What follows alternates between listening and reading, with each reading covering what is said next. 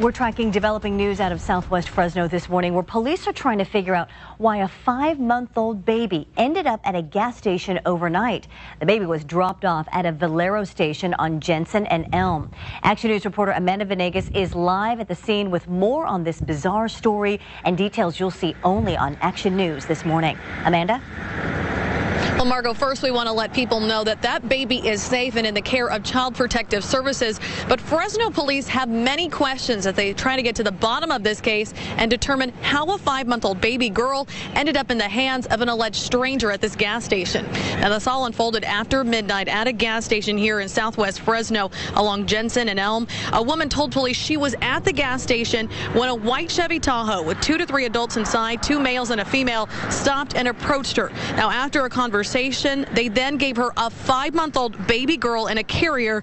Now, the woman contacted police and they've been interviewing her to determine if her story is in fact true. Now, detectives are also trying to track down the parents of the baby and they're also trying to figure that out. They also looked for the vehicle involved in this case. But back out here on scene, Fresno police say at this time they're not sure if a crime has been committed at this time. But also, we have the safe surrendered baby law, which allows people to give their newborn babies up, up to 72 two hours at a safe and designated place. The baby in this case is five months old. Reporting live in Southwest Fresno, Amanda Venegas, ABC 30 Action News. Back to you guys in the studio. All right, Amanda, thanks. And we continue